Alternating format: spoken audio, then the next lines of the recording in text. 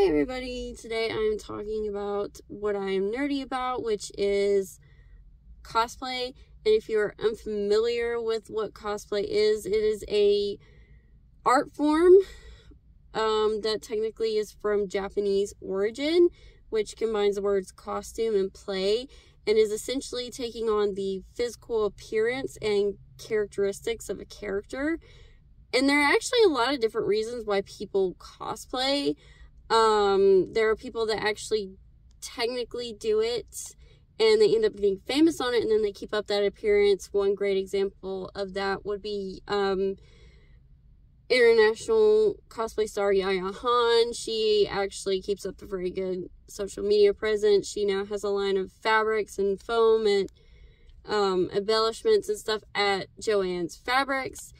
And then there are other people that kind of do it for the reasons I do, which are technically sort of a, um, the best way to describe it is probably like for others. I typically do a lot of my costumes based off of if it is going to be beneficial to a kid or if a kid's going to see it.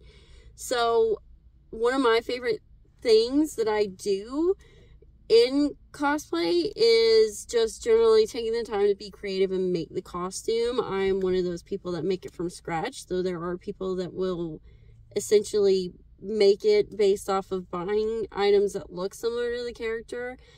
So one of my favorite costumes I actually did involved me learning how to do several different techniques, including um, I learned how to paint and um, cut and craft with foam, um, which I used on like the shoulder pads and the um, the axe. And then I basically taught myself how to sew. I made the skirt from scratch. I was able to repurpose like wine bottle coolers for her gloves. And essentially I learned how to do the wig, which was a lot of styling in itself. And the entire thing just is a learning curve and it comes together and then it looks really good it's something that I've really enjoyed. It's something that I really enjoy with kids, and I do actually take the time to try to do some charities and hospital visits when I can, which is an essentially really good thing some people do with cosplay.